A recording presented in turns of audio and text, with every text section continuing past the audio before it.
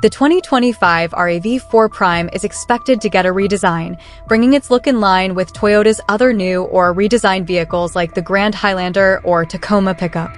This could include a sleeker front fascia, more sculpted lines on the sides, and a revised rear end. Asterisk powertrain asterisk the current RAV4 Prime uses a 2.5-liter inline four-cylinder engine paired with two electric motors and an 18.1 kilowatt-hour battery pack. This setup delivers a combined output of 302 horsepower and an all-electric range of 42 miles. The 2025 model could see a bump in power and electric range, potentially reaching 50 miles on a single charge. Asterisk Technology Asterisk the current RAV 4 Prime's infotainment system is a bit behind the times compared to some rivals. The 2025 model is expected to get a much-needed upgrade with a larger touchscreen, improved graphics, and support for the latest smartphone connectivity features.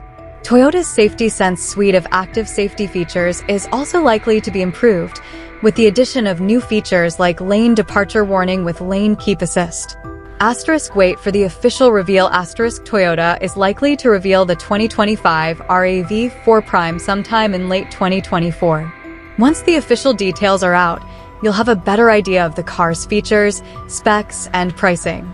Asterisk consider the competition asterisk there are a number of other great plug-in hybrid SUVs on the market, such as the Ford Escape plug-in hybrid and the Hyundai Tucson plug-in hybrid. Be sure to consider all of your options before making a decision. Asterisk think about your needs asterisk if you're looking for a fuel-efficient and versatile SUV that you can also plug in and charge at home the RAV4 Prime could be a great option. However, if you need a third row of seats or maximum cargo space, you might want to consider a different SUV.